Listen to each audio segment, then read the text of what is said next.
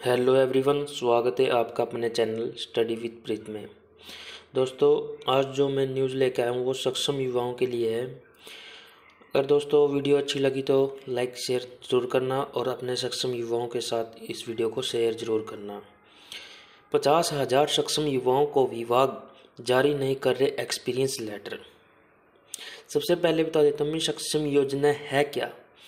सक्षम युवा योजना के अंतर्गत सरकार है जो बारहवीं पास को तो नौ सौ रुपये और ग्रेजुएट को पंद्रह सौ और पोस्ट ग्रेजुएट को तीन हज़ार रुपये प्रति माह बेरोजगारी भत्ता देती है।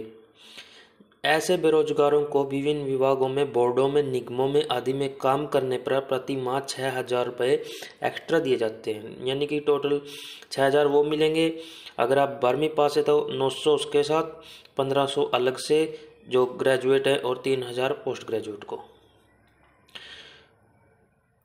हरियाणा कौशल रोज़गार निगम में आवेदन कराने में आ रही है परेशानी।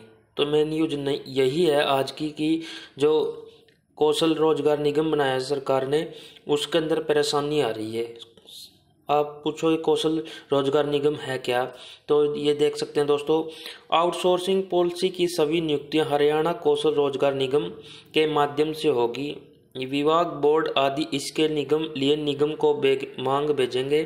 पोर्टल पर युवाओं को ऑनलाइन रजिस्टर कराना होगा और मेरिट के आधार पर नियुक्तियाँ होगी। इसके लिए एक्सपीरियंस की जानकारी भी मांगी गई है। तो क्या कहते हैं सक्षम युवा? सक्षम युवा योजना के तहत प्रदेश के विभिन्न सरकारी विभागों में, बोर्डों में, निगमों में काम करने वाले युवाओं के सामने नई परेशानी खड़ी होगी।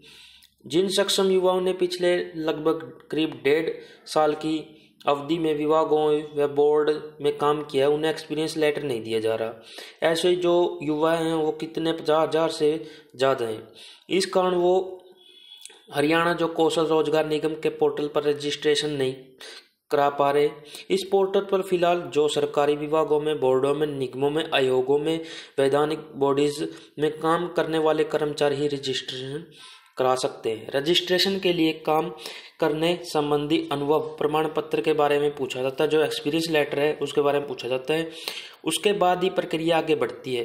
सक्षम युवा जब संबंधित विभागों में जाते हैं तो उन्हें कहा जाता है कि एक्सपीरियंस लेटर रोज़गार विभाग द्वारा जारी किया जाएगा। क्योंकि वहाँ ही उनकी नियुक्ति करने वाली एजेंसी हैं। जब रोज़गार विभाग के अधिकारियों के पास जाते हैं तो संबंधित विभाग में भेज दिया जाता है। यानी कि दोस्तों, जहाँ में सक्षम विभाग काम मिलता है, वहाँ पूछते हैं कि एक्सपीरियंस लेटर दो तो बोलते हैं, सक्षम रोज़गार विभाग के दफ्तर में जाओ। दफ्तर में जाते हैं तो वो बोलते हैं कि जहाँ आपको काम मिले, वहाँ जाओ। तो सक्षम युवा तो इन्हीं के बीच में ही फंसा हुआ है। तो ऐसे में सक्षम युवा दो विभागों के बीच में फंस कर रह गया है। डेढ़ साल से पहले जिन सक्षम युवाओं ने काम किया था, उन्हें रोज़गार कार्यालय के बजाय उस विभाग ने अनुभव प्रमाण पत्र जारी किए थे, जहाँ उन्होंने काम किया था, लेकिन अब मना किया जा रहे हैं। तो दोस्तों, इस वीडियो को आप ज़्यादा से ज़्यादा शेयर कीजिए, और अगर वीडियो अच्छी लगी है तो इसको लाइक और शेयर ज़रूर करना। Thank you.